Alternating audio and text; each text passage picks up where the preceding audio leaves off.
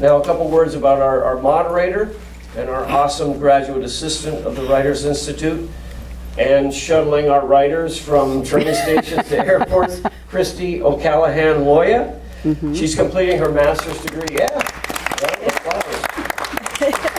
so Christy is completing her master's degree in English and she serves as editor in chief of Barzakh.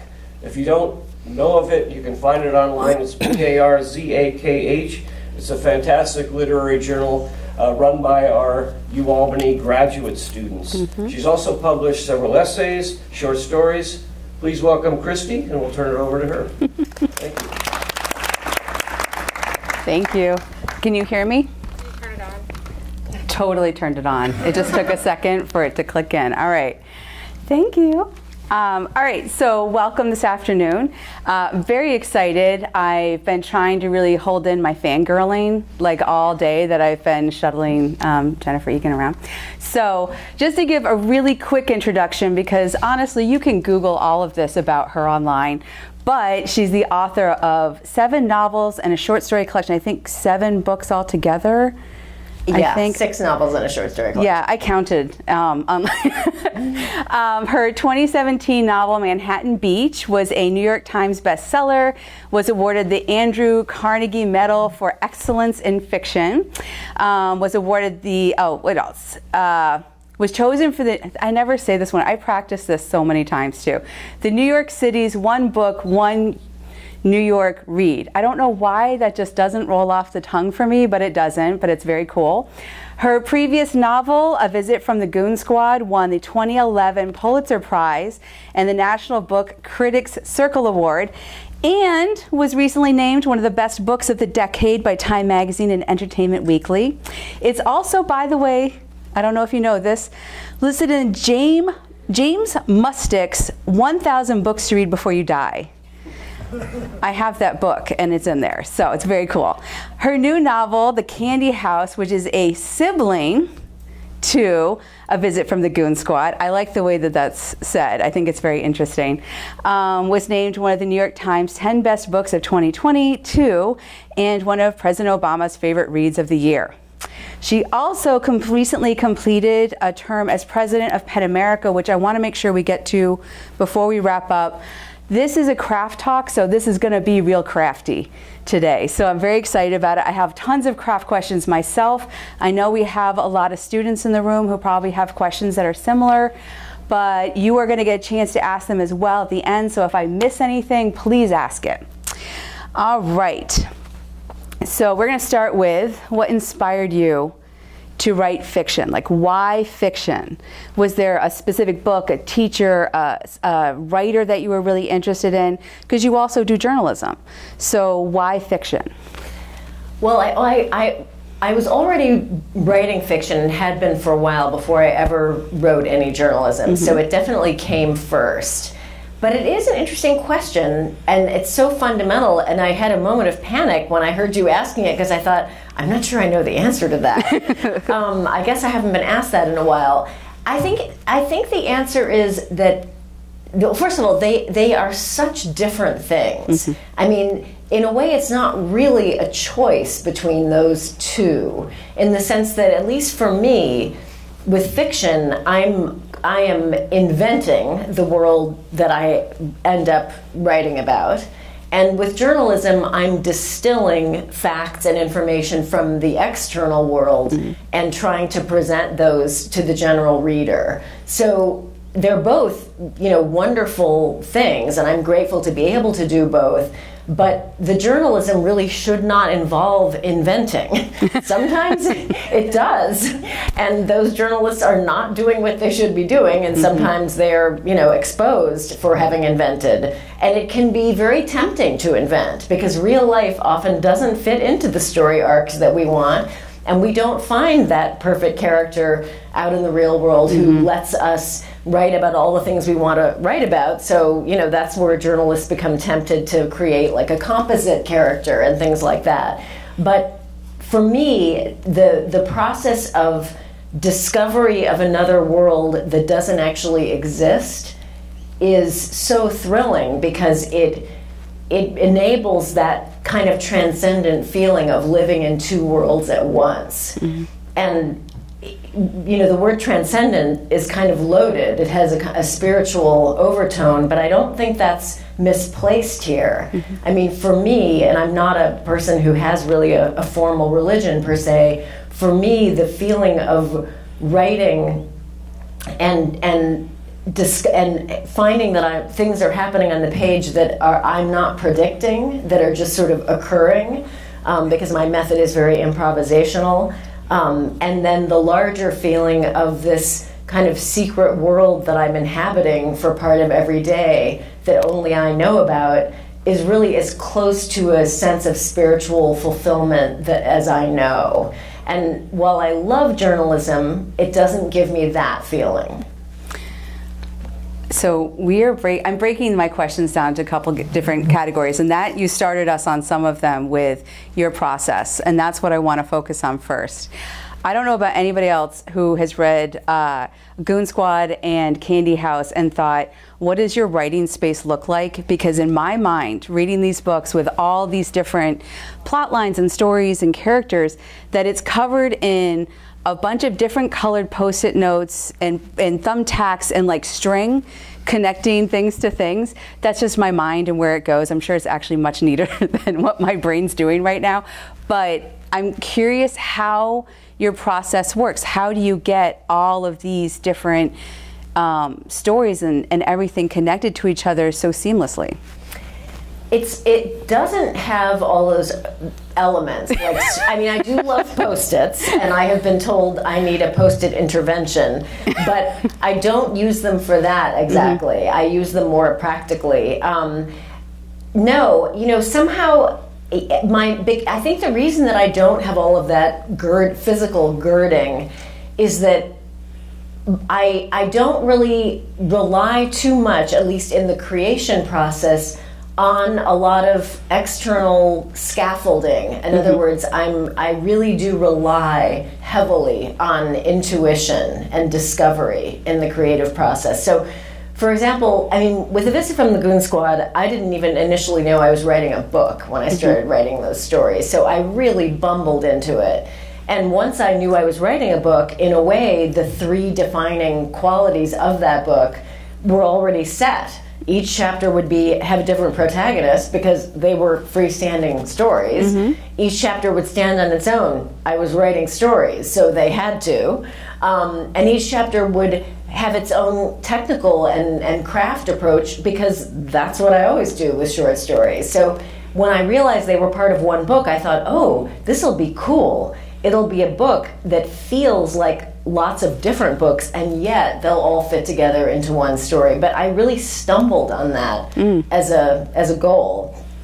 And so the connectedness among the people again came about very um, i don't want to say accidentally but through trial and error as opposed to some kind of grand plan in which i created a lot of connections and then enacted them in fiction. Mm-hmm with the Candy House, I some things I already knew. I, I was pretty sure I would adhere to those three structural ideas because mm-hmm. I felt like they still gave me a lot of freedom and they seemed like a good way to um, connect the books and sort of lean into the strengths of Goon Squad without hopefully writing the same book. Um, the one guide that I did need, and it, there was color coding involved, so no string or post its, but colors was just a very careful log of when people were born mm-hmm. and what age they are at every single point. Mm-hmm. And by that I mean every story that already existed in Goon Squad, every sort of foray that I was attempt that I was making with Candy House, and I say attempt because there's a very high failure ratio with these books. A lot of material I, I end up not being able to use, and then also just what age everyone is in every decade. And I started keeping these logs right from the beginning when I was working at Candy House, which was actually 2010. So the first age um, logs that I have stop very early, at least to my eye now. Um, because I was actually working on that book really on and off through from 2010 to 2020 one. Wow. Um, and then the you know the timeline goes into the future because in Candy House I go into the 2030s. So that was really important because sometimes I would have an idea about characters intersecting, and then I would realize, wait a minute, they're not they're not really the same generation. So yeah, they can intersect, but how and is that really natural? There, there's a, a big danger of cuteness with sort of reuniting people. And I was very wary of that. In fact, one of my working titles for Candy House was No Reunions. So I think maybe that was just a reminder to myself that this was not going to be a reunion book. Right. Um, I really, really, I mean, there's a time and a place for those. The Big Chill is a great movie. Um, that's not what I wanted to do. I, I want to add to what you're talking about here because your website is amazing, and I think you're. And has anybody actually seen Jennifer's website at all?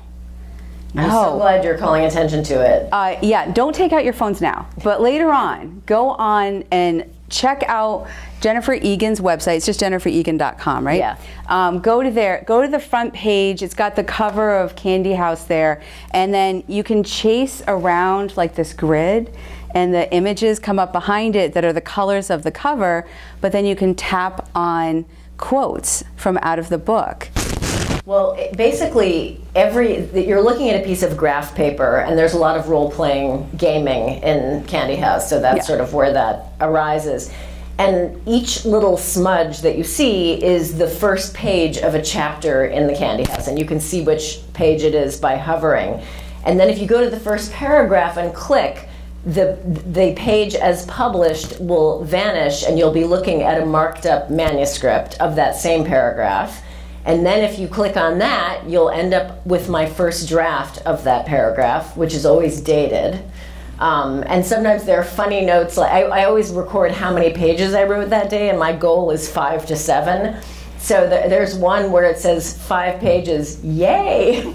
um, so it's very much, you know, it was certainly not intended for public consumption um, originally. But then, in a way, the, the better thing is there were a lot of not a lot but there were several cases where i had a lot of false starts before i got to the first paragraph that really led to the finished version and i've included the the first drafts of those ill-fated attempts as well so you can keep going deeper than the handwritten first draft of the published version in a few cases and you know, in a way, it's it's kind of.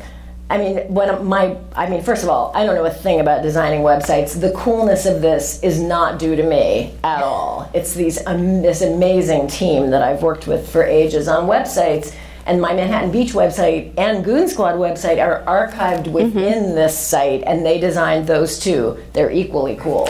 Yeah. Um, Yeah. But they, what, when I, we were working on this, they said, um, "Are you totally sure you want people to be reading this stuff, like these failed drafts?" And I thought, well, first of all, my handwriting is really hard to read, um, but second of all, there is a kind of intimidating finished look to a book that I even find intimidating, even when I wrote the book.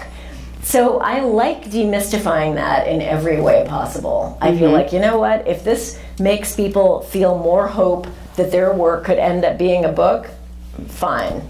And that it took, would you say, 10 years from starting Candy House? You said 2010 to 20. Well, 11 years. 11 uh, years. But, you know, I wrote Manhattan Beach. We- yes, yeah. But, you, yeah. but just to get that idea, I think, um, you know, as newer writers, which I'm one of them as well, um, I think it's great to know the pro- some of the process. Like, really, it takes draft after draft. It takes sometimes putting things to the side and going back to them and going back and forth and really putting your own fresh eyes even on that project. Very much so. I mean, I write my first draft without a plan, and but after that, I, I tend to edit on manuscripts and type in my changes, which allows me to number my drafts. And it is not uncommon to have. I mean, I, I think my top number is maybe seventy. It's really high. Um, but in in the Candy House, 35, 40 is average. That sounds more shocking than it really is. If you think about if you're editing on a screen, if you count each time you start from the beginning and go back through as a new draft, the drafts start to, you know, the number starts to climb. I think we don't perceive that when we're editing in, Yeah. uh, sort of continuously. but it can be very nice to have a record. Um, partly because sometimes in editing we lose good stuff. And many times I have gone back because I save obviously all the hard copies until I'm done with the project. I have dug back down and excavated through hard copies of draft to try to find material that I somehow lost along the way or you know edited out when I really needed it. Mm. So I'm I'm a big fan of keeping a paper trail, like a literal paper trail, because if you don't have it, it's you don't you know it's not there if mm-hmm. you need it. Uh, thank you. It, it, actually it feels much better when I think about how many drafts I go through for things, and I'm like, oh no, okay, good, good. I'm with, I'm, I'm, I'm, I'm feel much better about that because I go through a lot. Um, There's no shame. I, I mean, really, I think it's impressive to, to you know. And one thing I often say to people because they feel like it's taking so long, and I am a very impatient person, so I really understand that. But one thing I say, and I truly believe this, is it actually does not matter how long it takes mm-hmm. if it's good. Right. It's so hard to do anything good. And work that is really good leaps to the front. And if, if an extra year is the difference between good and great, that year is nothing. That is a tiny price mm-hmm. to pay to close that gap. Uh, we were talking about AWP right before we came in here, and uh, this was my second year going to AWP. It was my first time actually getting to a panel because I'm working when I'm there for Barzakh. Um, I got to a panel and it was about linked short stories, and because that's what I'm working on, and I was dying to see the panel and.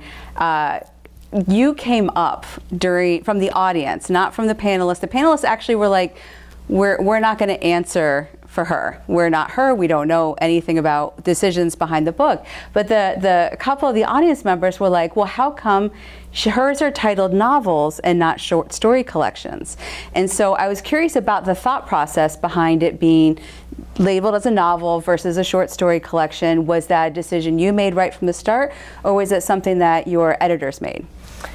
Um, so there's a fun answer to that. So when I when I finished Goon Squad, I thought uh, I don't know if people who want to read a novel are going to feel that this is a novel. Mm-hmm. So I insisted that they not put novel on the cover. The editor insisted that they not put short stories on the cover because short story collections, I think, traditionally don't sell as well. Mm-hmm. That was the feeling. So we were a little bit at a standstill, so we put nothing on the cover. That oh. was the solution. And on the cover was a picture of a guitar, and it just said, A Visit from the Goon Squad by Jennifer Egan. This was a marketing error, um, although whose error it was depends who you ask. Uh, the bottom line is no one wanted to buy this book. Some people thought it was nonfiction about music because I also am a journalist. The bottom line is no one knew what it was, and so they, they just didn't purchase it. And the book did horribly. Hmm. So in paperback, uh, my editor basically said, guess what? We're calling it a novel. Hmm. Um, and the truth was that in reviews, it had been, it seemed to be generally referred to as a novel, and I was happy to concede because I wanted it to sell better. Mm-hmm. So it really is just a marketing decision. Right. I mean, who cares? You know, labels are always um, misleading to some mm-hmm. degree. They are categories that are useful for other purposes. Mm-hmm. And that is certainly true of marketing labels. But the bottom line is, you know, it, not designating your book as anything, I think, is not a great idea. Um, you know, I don't know. know. I never have known what, what they are. They're, they're, they're works of fiction. Mm-hmm. Um, but, you know, I guess no one wants to put that on a cover that is, I, I, think it's so interesting when you start to look at those questions about where things get end up in the, the bookstore on the shelf and making it almost easy for the, the customer to buy it. Not so much necessarily worrying about it from the writer's end, but that's about how to connect to the reader. And that's such an interesting part of the process that we, we don't always think about as we're writing things. So I think that's fascinating. Um, I also, on that panel was uh, Carmen Maria Machado, who wrote, if you guys don't know her, she wrote um, Her Body and Other Parties, which is amazing. And uh, she spent a couple minutes just talking about how painstakingly she structured the stories within the book. She had a plan with how, with the, the order she wanted her stories to go in for the reader to have an experience. You, neither of these books are chronological or alphabetized or anything like that. So how how did you pick the order that those stories were going to go into? That is one of the hardest things and and the last thing that mm-hmm. became clear in both cases. So with the visit from the Goon Squad, I actually had a wrong idea about structure. I thought the chronology would go straight backwards. Mm-hmm. Even though I wasn't writing the stories in that order, I thought, oh, this the fun of this, and it, it is a governing idea in both books, that instead of the the surprise or the the hope of surprise that's that's guiding us being what's going to happen the the curiosity that I'm answering more often than not is something like ooh what was that like? And then we find out so I thought okay so the whole thing is going to work that way. Now other people have done it. It was not a new idea. Um, but not that many. And I thought it'll be great. I can't wait. So I worked in these stories in, in various uh, orders. And then I and I worked on them very individually because I w- wanted them to feel different from each other. And as mm-hmm. I said, that was one of those ideas that came about accidentally, but I really liked it and wanted to didn't I didn't want them to sort of bleed into each other, if you will. So I put them in that backwards order. Um, close to the end, or what I thought was the end, and I read them through, and I had a very unpleasant experience because what I found was that the book was very flat. It did hmm. not gain momentum. It seemed to lose momentum as I went, not the effect one hopes for when reading a book. Yeah. So I thought, okay, what's wrong here? Um, maybe it's just not a very good book. That's one possibility.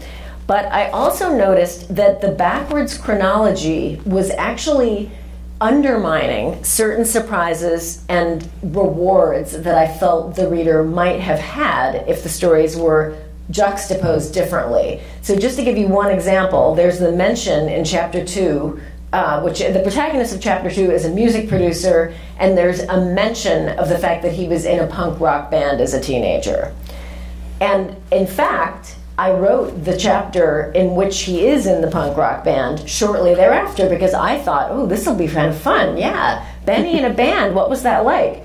In my backwards chronology, we have to get from 2006 to 1979. We have mm-hmm. to wait eight chapters to see Benny in that band. And guess what? No one remembers by then mm-hmm. that little moment when we learned that he was in a band.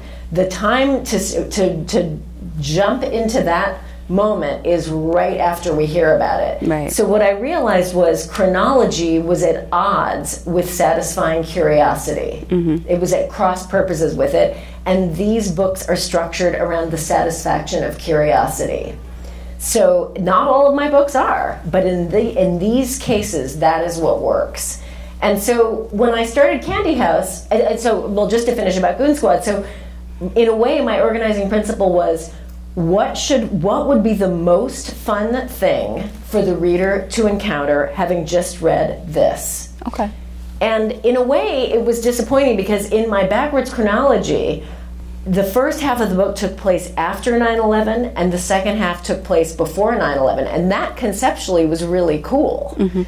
so i lost that but it was worth it because I gained more than I lost. And I, I think in these kind of, for a very non business oriented person, I think very much in terms of cost benefit analysis when I'm making craft choices. Because you gain and lose with every choice you make. Mm-hmm. And the question is always are you gaining enough to justify what you're losing? Mm-hmm. So, for example, think about first person. What you gain is intimacy you're really deep inside someone's sensibility. What you lose is every other point of view. So you'd better be deep enough and getting enough out of that intimate point of view to justify what you're losing. Mm. That's the I, I think about that a lot. So in the case of Goon Squad, it definitely was worth it to lose backwards chronology, even though I also lost my cool conceptual 9/11 uh, kind of pivot in the middle. With the candy house, I thought, well, let's see what happens. But it was very clear that I never thought it would go in chronological order. Um, I again structured it really around curiosity. That's and that is not arbitrary. In other words, I do not encourage you to read these chapters in a different order. I can promise you it won't be as good. These these are very careful decisions. Yeah, that's what Carmen said about her book when people would come up and say, "Oh, I read, I, I jumped around when I read it, and I didn't like your book very much." And she said, "Okay, read it over again from start to finish, and to come back and tell me what you think." First And- of all, why someone is telling her that, I don't I know. know. but she said it's happened a couple times. She was like, read it over, start over again. Um, and, and speaking of, of char- actually, I wanted to ask about characters. You have so many characters. I, I would like to say that I was um, uh, nitpicky enough to actually sit down and count them, but there was no way I was going to sit down and count all the characters between the two books. I haven't even done that. I so. know, I know. I thought about it though. So um, there's so many, and Sasha being one of my absolute favorites, and watching her um, evolution from the start of Goon Squad into you know lifting the wallet to having this art that she's creating in the desert with the balloons. Look, I. I it's a beautiful evolution of Sasha. I just I don't know why she was my favorite. I can't tell you why, but I loved her.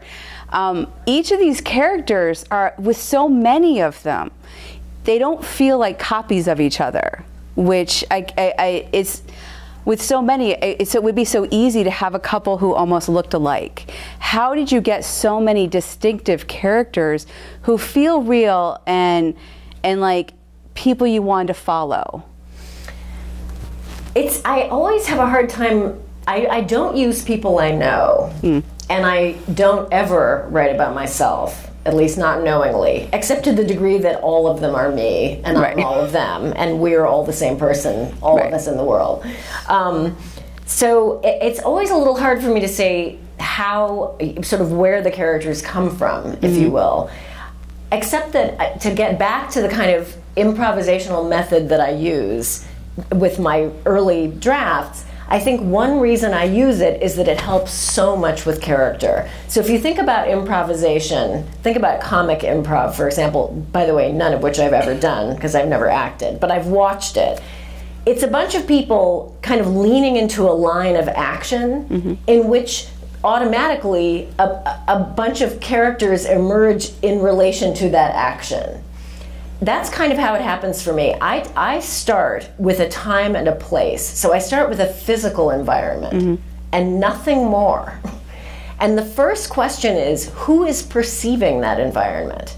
Because someone must be. What point of view are we in? And that is the first in- inkling I have of character. We're inside someone's head seeing these details. And then who else is there? So that that immediately is the beginning of more characters. And as I write, I'm looking for what seems most interesting about these people as they emerge mm-hmm. and kind of going with that.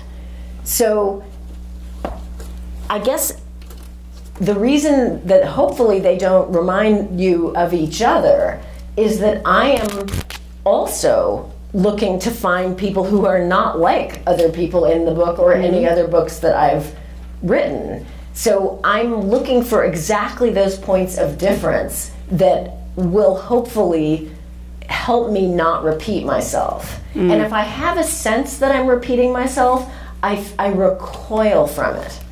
I really, it's it, it, I, it's almost a feeling of revulsion, and I think that's why I really don't like to write about myself or or people who remind me of me, because it's that feeling of repetition. You know, I mentioned at the mm. beginning that sense of transcending my own life and the limitations of my life and my identity is exactly what's fun about writing fiction. Mm-hmm. So if I start to feel like I'm just treading the same ground that I'm treading in my life as a human, that is is antithetical to the feeling that I want to achieve. And I'll just say a couple of things about what I look for when I'm when I'm writing characters because I get it wrong a lot too and have to fix things. Mm-hmm. One idea is contradiction. You know, the consistent character, except, I mean, there are certain exceptions, but you know, in 19th century fiction, there are some consistent characters who really work. But on the whole, in a contemporary environment, I'm looking for people's contradictions. And mm-hmm. in general, if, if I've seen someone doing one thing, I don't want to keep seeing that person doing that thing. Mm-hmm. So, for example, in A Visit from the Goon Squad, we see Sasha stealing. That's sort of her most memorable practice, I would mm-hmm. say, in the book. And then we, we recognize that she uh, you know she leaves that compulsion behind as she gets older, and we see her you know being a mom. But there's no way I was going to have Sasha doing the same thing in the Candy House. And I didn't sit down and think, well, what should Sasha do? I imagined forward, thinking, what would be, what would, what, what would be a future that would be linked to that practice and yet transform it into something different? And the obvious idea was art. Um, so I'm always looking to work against what I've already done with someone. So, for example, there's one person who's a major character in both books, only one, a guy named Lou Kline. And a lot of people found him the least sympathetic character in Goon Squad. He's a guy who's made a wreckage of his family life, mm-hmm. left, you know, ex-wives and damaged children in his wake. Very easy guy not to like. And I that makes me very curious about him. Both what made him there were a few questions that weren't answered in Goon Squad. One was how who what made him who he is? Mm-hmm. And another is who conquers him? Mm-hmm. We see him conquering a lot of people. And I guess those were, I didn't ask those questions explicitly, but those are the questions I tried to answer in writing again about Lou in the Candy House. So, contradiction, working against what I've already established, and following details that seem like they'll lead me somewhere that I haven't been before into into the world of a person I haven't written about before. Those are the kinds of things that I'm thinking about and, and working toward when I write about characters. I love that. I, I love that you're sort of looking at how to create sort of new characters you haven't read before, but also you do it with some forms as well. I, I the three chapters I'm specifically thinking of are Lulu the Spy 2032, um, See Below, which by the way is amazing. If you haven't read the book yet, See Below, it's just emails back and forth to people, and it tells an entire story through emails of people going back and forth. And from Goon Squad, great rock and roll pa- pauses. I want to say pulses because it felt like it goes with rock and roll, but pauses.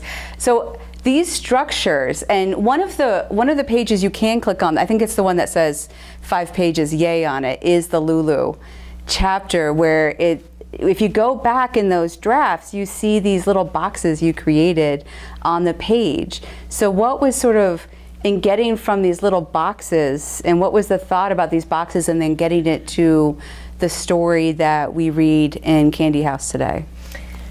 Well, that uh, Lulu the Spy was the first chapter I actually wrote of the Oh. Candy House, and I started it right after I finished Goon Squad.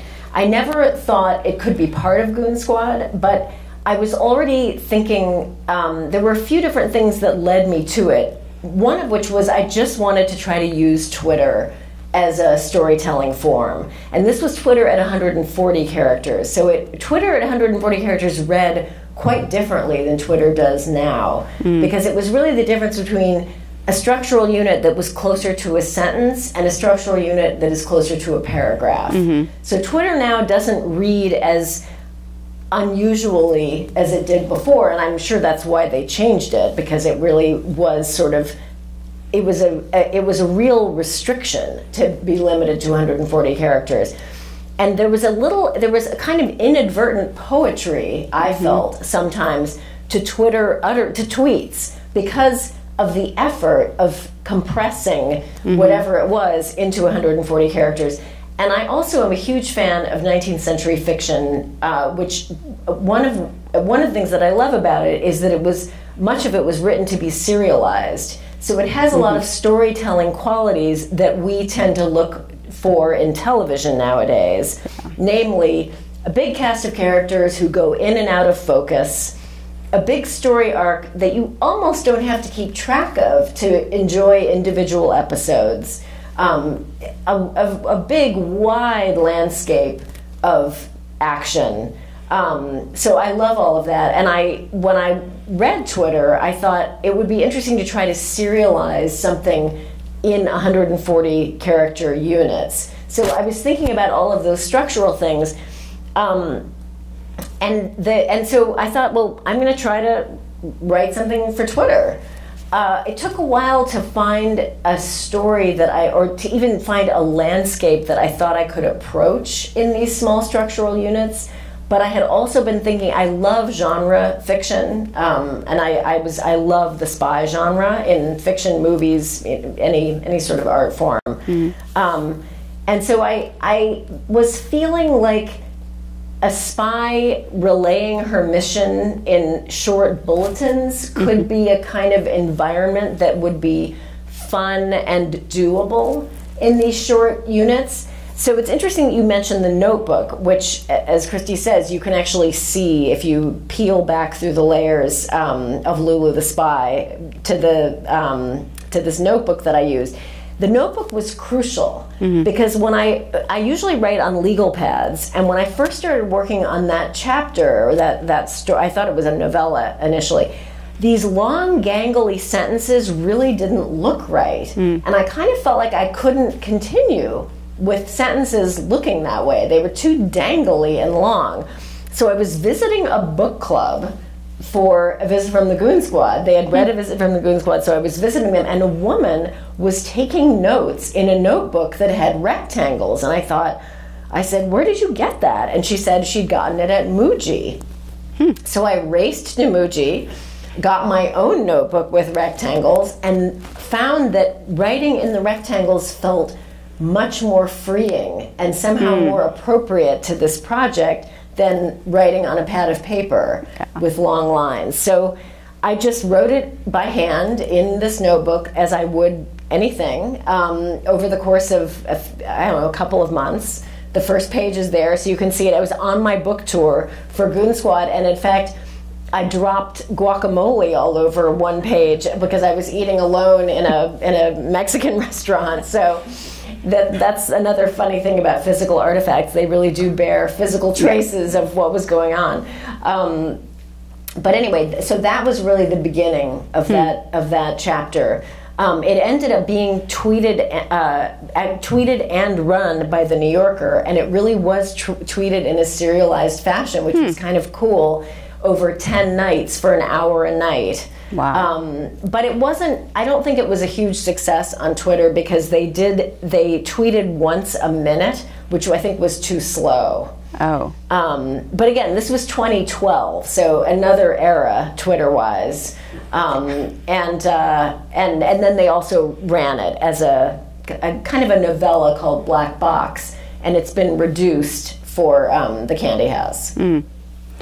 Uh, that's such an interesting way to think about how stories can change over time. If it was put out on Twitter, what you said one a minute, and then it was reduced down to black box, and then it became Lulu the Spy. So no, black box was black box is the Twitter version. Oh, is the Twitter yeah. version? And okay. it's I mean, all I mean is that I compressed it slightly gotcha. more for um, for the book, but it's you know it's Lulu for right. sure, and the story elements are are all the same and some of the other thing i mean that that is kind of the linchpin of the candy house because mm-hmm. one of the things i wondered about so lulu is on her spy mission and this is a, an interesting craft topic really which is what does genre do? Right.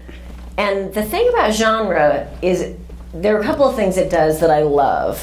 One is it provides an environment so and, and it's a it's a, a literary environment and I in my mind literary includes film, television and everything else. Mm-hmm. So for example, I wrote a gothic thriller called The Keep. Mm. And I started it exactly as I always do with a sense of environment.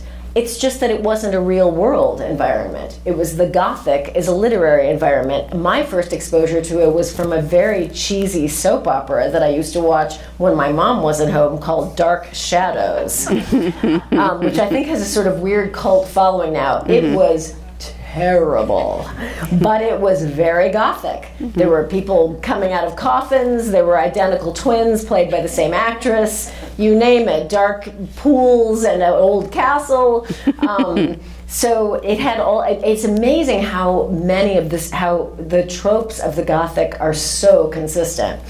Um, anyway, so th- so genre pro- can provide a ready-made environment, and it also can it can help the writer focus the reader on certain things and therefore lets the writer get away with not dealing with other things. So here's an example murder mysteries. Murder mysteries are not about grieving.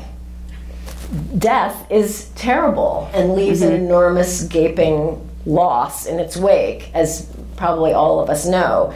That is not the focus of a murder mystery. And if you pick up a murder mystery and you kind of descend into a well of grieving, my guess is you're going to start thinking, I don't know about this murder mystery because this is a genre that's about problem solving. It's mm-hmm. about finding out who did it, not about wallowing in the impact of the death. Mm-hmm. So, with the spy genre, what I found was that I was able to. Terrible things happen to Lulu in the course of her mission. She is raped, she is shot, she nearly dies. I mean, it's a nightmare Yeah.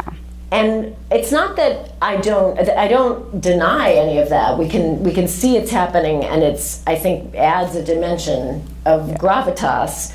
But it I remain within the genre in that we're really reading for the action, and we mm-hmm. want to know what's going to happen and how is she going to get out of this. Mm-hmm. But I also knew that if I were going to include this in a book, and if there was going to be a book, this would have to be in it. I would actually have to reckon with the severity of what Lulu had gone through without the genre, an- a genre to protect me. And to make it easy to, to make it easy for me to not reckon with these things. And mm-hmm. that ended up being the single biggest challenge of mm. this book and you'll see the layers of that challenge if you start with see below the mm-hmm. chapter christy was just mentioning which is all email and go down through the layers Yeah. you'll see that what i originally thought i was going to do which conceptually made a lot of sense on her mission, Lulu is narrating her lessons that she's learned from each step she takes hmm. in the form of thought bulletins, which she is transmitting via a device the government has implanted in her brain. So I thought, so Lulu comes back, she has twins, and you know, anyone who's been through this is going to be pretty severely traumatized and have to grapple with that. And I thought, I know, what if she can't stop narrating her mission in these thought bulletins, even though the device is no longer in her brain and she's no longer on a mission? I know what I'm going to do. I'm going to get another notebook at Muji and I'm going to start that story of her domestic life narrated in the same way that I mm-hmm. narrated her mission. It was one of those great ideas that reminds me of why my ideas are not great. and why I need to write improvisationally to get around my ideas. Hmm. Because the bottom line was this very same notebook, approach, device that felt so freeing writing about Lulu's mission and seemed to allow me to include humor, pathos, to move around through time and to adopt various voices became like a straitjacket when I tried to employ it in Lulu's domestic life. However, I was so enamored of my concept that I really tried. I stuck with it and I filled up a whole notebook. And this is why I have a writing group in part. And I actually dedicated the Candy House to them. Mm-hmm. And you guys are in an environment in which it is prime uh, territory to locate possible future writing group members.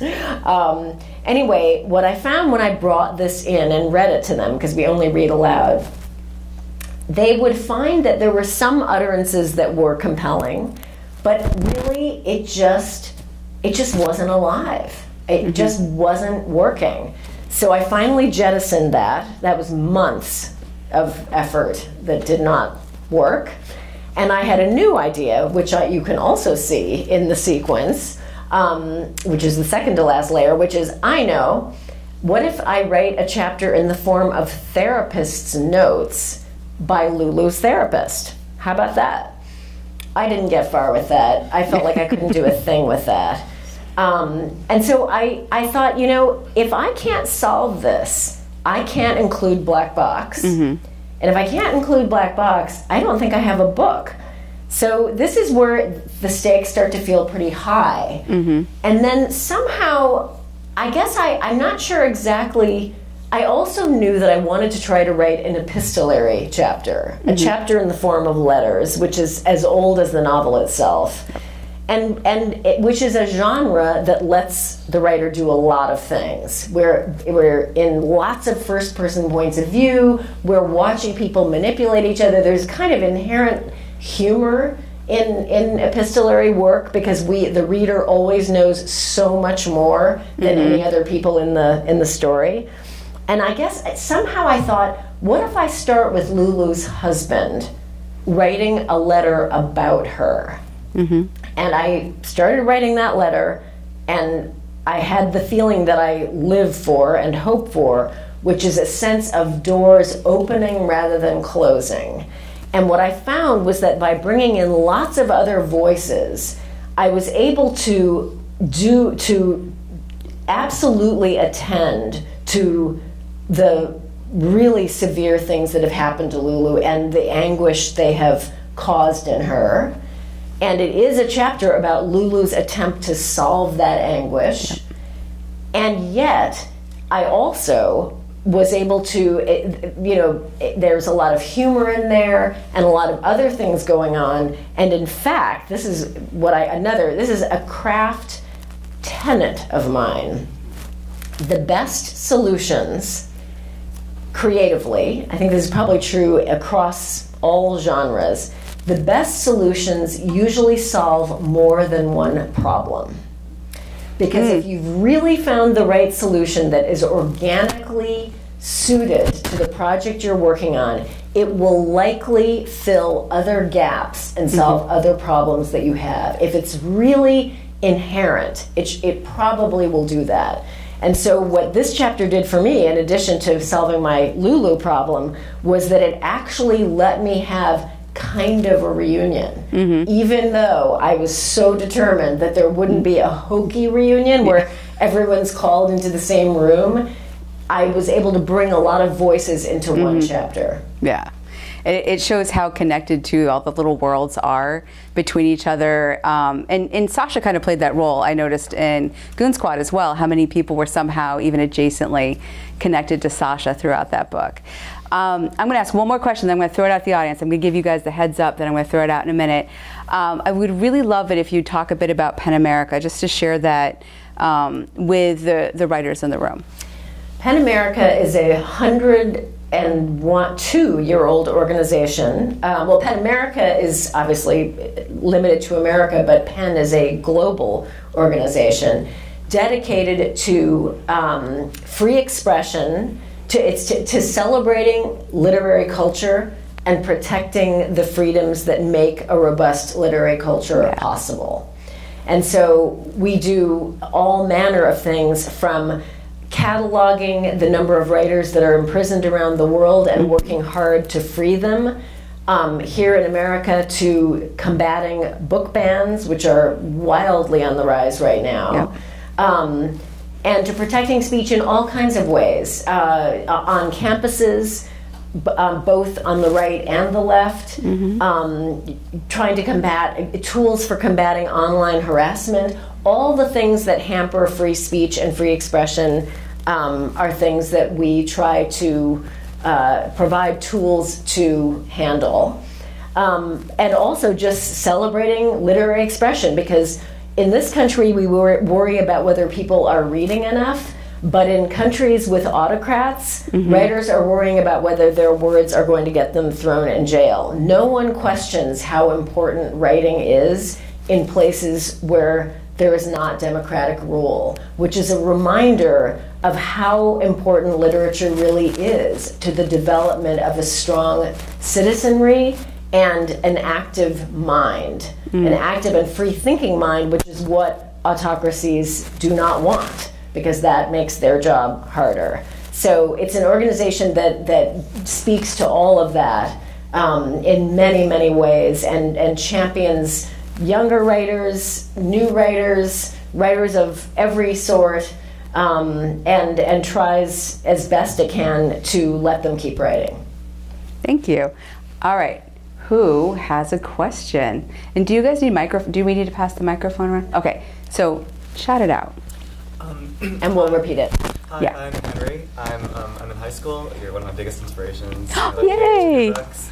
I ran over here from school. Um, so I'm curious. I know your work was inspired by Proust, and that's something I'm trying to get through. Um, long, uh, but you know, it both conveys a feeling of time passing uh, over long spans of time, decades, years. Uh, even when readers are sitting in one room for 30 minutes at a time and they don't have that kind of long passage, right? So how do you stylistically convey? I mean, you have chapters, three chapters that can span 30 years, that a reader might spend 45 minutes on, right? How do you convey so much growth and longevity when a reader is on the same couch in the same hour? So this is Henry, who came over from high school, which I really appreciate. um, and well, so one thing Henry mentions that um, he's finding it hard to get through Proust. I could not read Proust even in my early 20s because I thought, who cares about time? Um, I mean, the romance part I liked. Um, so I ended up reading In Search of Lost Time in a book club, and it took us six years. And we were all in our 30s, and we had we had five children among us in the time that it took us to read in search of lost time so it was a real-time experience for us Right, um, right. and we were kind of permanently bonded by it so henry's question is how i think and uh, tell me if i've got it right how do how does a writer manipulate time to suggest the passage of 30 years to someone who's sitting and reading that particular um, passage in 45 minutes. Okay, so time, the relationship between time and fiction is, is so interesting. I think you could say that fiction is always about time passing on some level. I think this is actually what separates it from poetry. It, one of the things. You know, whether it's a minute or an hour or a day, as in Ulysses, time passes and things happen, and that's kind of what makes it fiction. Um, and so the manipulation of that passage of time is one of the basic jobs of the fiction writer. In terms of, I mean, I, it's funny because I don't, I don't think about how to express the passage of time per se as I'm writing. I think maybe that's one of those things that is, you know, how much time is going to pass in a work of art is one of those very basic questions, sort of like first person, third person. Um, you know, it's it's very basic. But I don't know that I make that choice right away as I'm working, or whether it comes about spontaneously and becomes clear as I work. But I will say, maybe I'll answer your question to give you a specific answer. I'll say that it, a visit from the Goon Squad I knew would be a response to Proust in some way. I was, it, you know, I was thinking about it as I as we were reading this book so slowly in my book club and having children along the way. I was thinking. I love the fact that this book is about time passing explicitly because it's it's it's Uh, foregrounding something that all fiction is about and making it a sort of extra subject of of the novel. How could I do that very same thing but not require so many thousands of pages and a kind of real-time experience of time passing? And I, I didn't know what the answer was. It was just a question that I had kind of rattling around in my head. In those same years, I was watching The Sopranos. So I don't watch a lot of television, but I am interested in serialization as a storytelling structure. Um, and I tend to get most of my serialization from 19th century fiction. But The Sopranos was amazing, and to me, very literary in that I felt like it, the, the, all of it was embedded so deeply in my head. It felt like it lived more where fiction lives rather than television, which I tend to find lives on a more surface level for me. And so I think and so I found myself thinking, how can I do what The Sopranos does? How can I use th- these serialization elements in a work of fiction? So those two questions were in my head.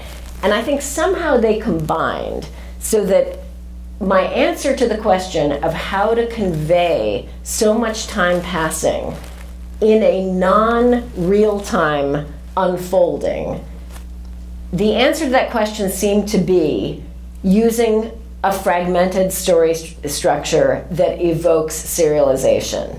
And that is real, those were the two structural ideas behind A Visit from the Goon Squad.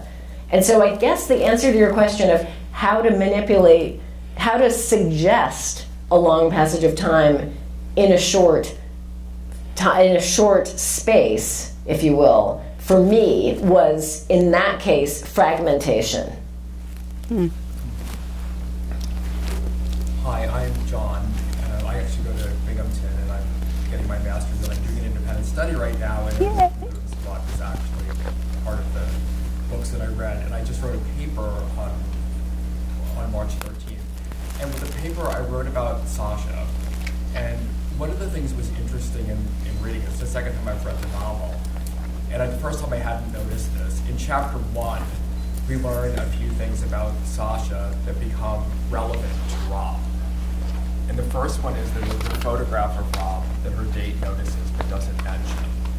And the second thing is in that first chapter, in the conversation with her therapist about her kleptomania, she says, I don't think about the people. And I was wondering, um, this is what, you know, sort of what my paper was about, about when she gets to Rob, is she thinking about Rob through her actions? And when you're writing that, those little hints in the beginning, was that part of this, you know, you know, part of the little Easter egg that you were dropped, and how did that relate to that, that story? Okay, I'm trying to think about how to paraphrase this question. I think this this questioner might know my book slightly better than I do right this minute. Um, it's about it's about certain little moments in chapter one of A Visit from the Goon Squad that suggest things that happen later um, involving Sasha, one of the two main characters, and one of the comments one of the comments that Sasha makes to her therapist is, "I don't think about the people." but it's in the context of her stealing. So she has a compulsion to steal, and her therapist, and she's, you know, this is getting into her into a lot of trouble. Ultimately, it gets her fired from her job. I mean, who on earth wants a person who's stealing everything to be working for them? It's not a good trait to have from an employer standpoint. Um, and her therapist asks her whether she thinks about the people that she's stealing from as a way of, I think, trying to evoke her empathy for them as a way of getting her to stop doing it. And she says, I don't think about the people.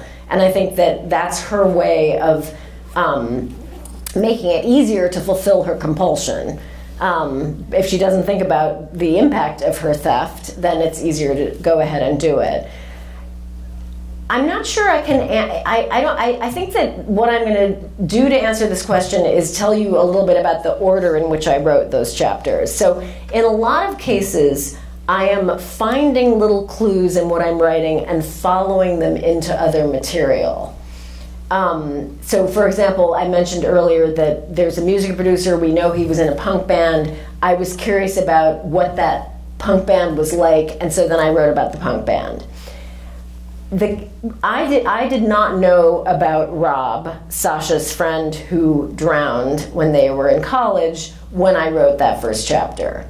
In fact, Rob came very late into the narrative because I wanted very much to see Sasha in college and I couldn't find a way to get to her. And that's one of these big problems in books in which each chapter has a different protagonist. If I want to see someone again, but they can't be the protagonist. I mean, suddenly I'm kind of getting forced into really contorted shapes to try to write to try to get to the moments I'm trying to get to. So I wanted to see Sasha in college so badly that I actually considered breaking my rule of having every chapter be about a different person and letting her be a protagonist again. And I wrote that, but it wasn't all that good. It was sort of okay.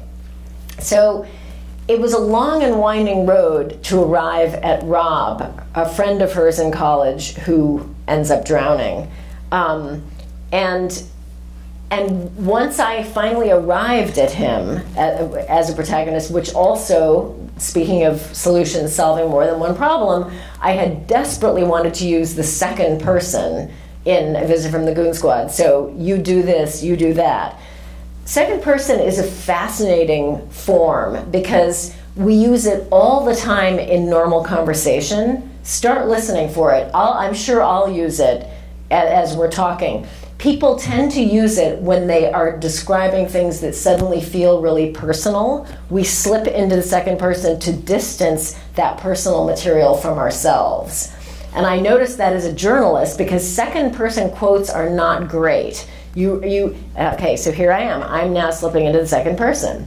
You tend to want first person quotes as a journalist, but often someone will be saying, Yeah, I lost my job and it, and it was really painful. You know, you feel really bad when you lose your job. You feel like you're never going to find another job. Mm-hmm. And as the journalist, I'm really bummed out because now, just as the person is describing this very personal stuff, they're distancing themselves from it by using the second person. So the second person is fascinating, but very hard to employ in fiction. Mm-hmm. And I had tried it a few different ways and I couldn't do it. When I arrived at Rob, Sasha's friend, I was able to use the second person, so I was thrilled. But because there had been no Rob, I had I did go back through and actually pl- I plant those little Easter eggs, if you will, to lead us to Rob in that early chapter. All right, we're going to wrap it up uh, because we were enjoying ourselves too much. Now we've run out of time. So please give a big hand to I'm also Jennifer. happy to keep talking outside for those She is who want to. very happy to talk to you outside.